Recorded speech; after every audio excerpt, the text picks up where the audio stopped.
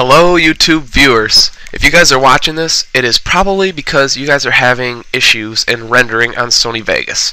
Well, I did too, um, and it was extremely annoying because I was working on Macbeth project for my friends, and there was like 10 people in the group, and I had finished the whole video, but when I was rendering it, around like 28% done on the rendering, all of a sudden this error occurred saying, um, an error occurred writing the file. Make sure you have write access to the file slash folder and that there is enough free space.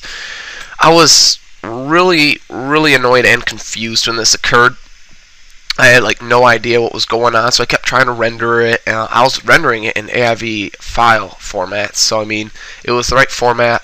Uh, it just really, it was just really annoying because it would not format, and the due date for my friends was coming up. So I searched online, and uh, with the help of a website on there, and then a lot of just uh, prodding and poking around and investigating on Sony Vegas and on my computer, I figured out the issue to this error. And I'm pretty sure that uh, this error is pretty much linked to exactly what I'm going to teach you guys how to fix. So pretty much I believe that uh, my method will probably get rid of this error for um, all of your guys' issues. Um, you guys probably all have a similar issue to mine, though, as you will see.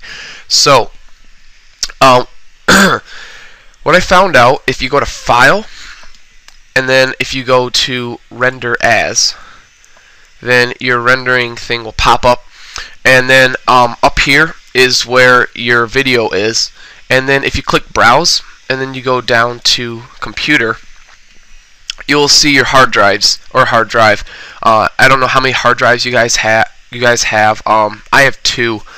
Um, it doesn't really matter. I mean, it'd make it easier if you guys have multiple hard drives. But if you just if you just have one hard drive, that's perfectly fine. This will still easily work. What I found out was, as you can see, my local disk only has like like less than two gigabytes of data left on it. And actually, when you render a video, it takes up a ton of room. Uh, it's a, it's a huge amount of memory. So what I found out was when I was rendering it, this the video I was rendering was over two. It was a little over two and a half gigabytes worth of memory, and I had it. I had it um, trying to render in my local disk.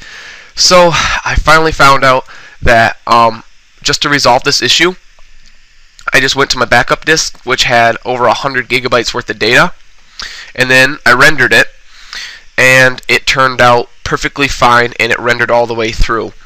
I didn't have an issue. So to resolve this issue for you guys, um, if you have more than one, uh, if you have more than one um, hard drive, what you guys want to do is you want to uh, first go to the render page, and then you want to click browse, and then you want to go to your computer, and then you want to select the hard drive that has the least amount of memory used on it. And what I did I just went to the my backup hard drive and then I just made a file called new video file for Sony Vegas. And then I render my videos in there. And then that gets rid of the issue totally because what that issue that error was basically saying was hey um, there's not enough memory on the hard drive I'm trying to render on, so I pretty much cannot render this thing for you. So, um, but don't fear if you guys only have one hard drive, um, or if both your hard drives or how many hard drives you have are all filled up.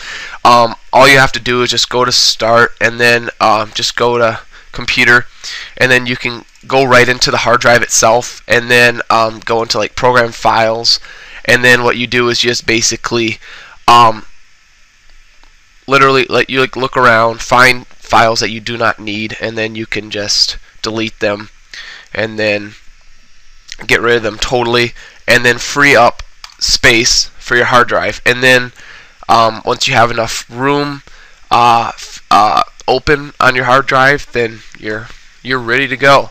So um, yeah, I, that's really that's really the gist of it. Um, I hope I helped you guys out. Uh, this is my first um, tutorial on Sony Vegas and I'm planning on making many more for you guys. Um, if you guys have any uh, ideas or any other questions or anything about Sony Vegas, um, I'm learning as well but I have learned quite a bit about it and I will try my very best to figure out those issues and make another video for you guys. So feel free to comment, subscribe. I will pop out some more of these videos. So um, thank you very much.